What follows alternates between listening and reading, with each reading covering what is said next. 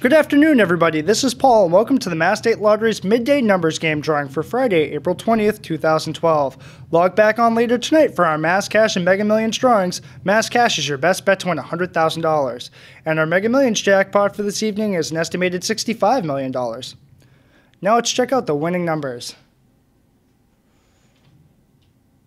6010. Once again, the winning midday numbers for Friday, April 20th are 6010. Thanks for stopping by, and we hope to see you later tonight.